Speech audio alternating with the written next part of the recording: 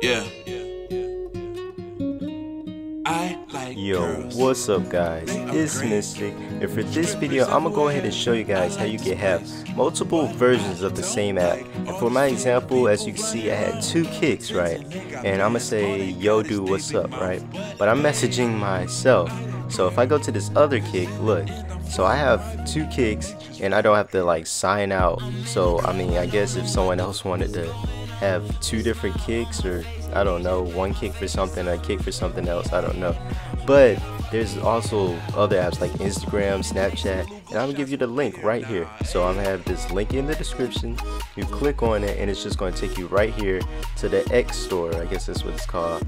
And as you can see, it had a BBM2, Kik 2, uh, as you see messenger 3 facebook 3 so you can have three facebooks three messenger apps um, it also has snapchat 2 so you have two snapchats uh, instagram facebook and viber 2 so you have two instagrams two facebooks and all you have to do is uh, click on the blue and then it's just going to take you right here and it's just going to load up say cancel for opening the app store that's just a little pop-up. It's going to take you here just click on the blue button again it's going to ask you right here would like to install whatever it's called just click install. And then it's going to start loading up.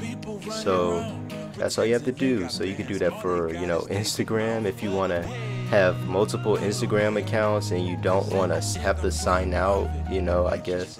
Or if you just have different facebook accounts i don't know I just know that you know you're not supposed to have more than one version of an app. But this is just a little trick to show you how you can have multiple versions.